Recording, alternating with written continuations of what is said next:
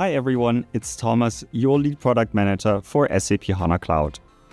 The first quarter of 2025 is almost over, and I'm excited to give you an early preview of the upcoming delivery of innovations for SAP HANA Cloud. Let's jump right in and explore my handpicked selection of the new features which we will deliver for you. I'm thrilled to start with a big bang of the upcoming release, the general availability of the Knowledge Graph Engine in SAP HANA Cloud. Announced at TechEd 2024, we're super happy that the new engine will now become officially part of the multi-model family. Unlock hidden insights in complex connected data and enable advanced reasoning and decision making. With the Knowledge Graph Engine, you will be able to act smarter, faster, and more data driven by revealing insights and relationships and patterns across your diverse datasets. All of this becomes possible as SAP HANA Cloud will now offer a native triple store, supports the resource description framework, and provides a SPARQL execution engine to query your data stored in triples.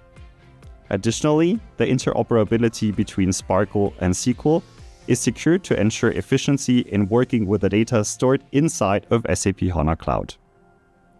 Moving on, you might have heard of Joule, SAP's intelligent co-pilot, which helps you to execute complex workflows with precision and ease. Good news, we have added a virtual assistant to our admin tooling powered by Joule as well. With the new virtual assistant, you can execute tasks using conversational chat, get guided assistance for complex operations, navigate to specialized apps quickly, and analyze instance status and health with ease. The new virtual GenAI assistant simplifies your administrative experience with SAP HANA Cloud significantly. Give your productivity an extra boost and enhance the user experience within our intuitive admin tooling.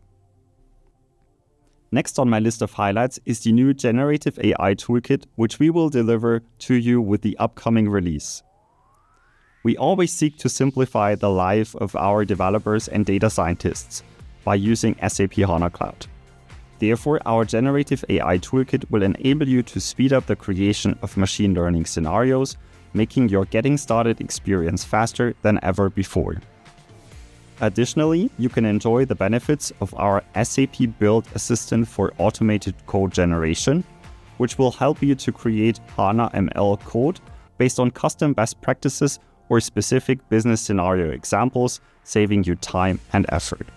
And finally, you can leverage our Python toolkit for a seamless experience across other development environments.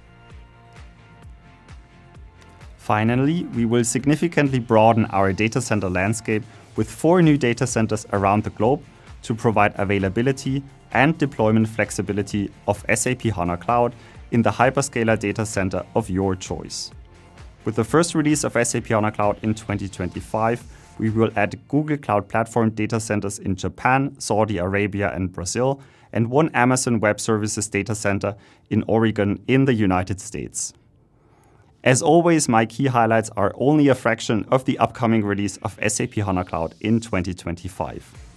To learn more about these innovations, stay tuned for our What's New in SAP HANA Cloud webcast or visit our website. Thanks for tuning in. Don't forget to subscribe for the latest updates. Until next quarter, take care and see you soon.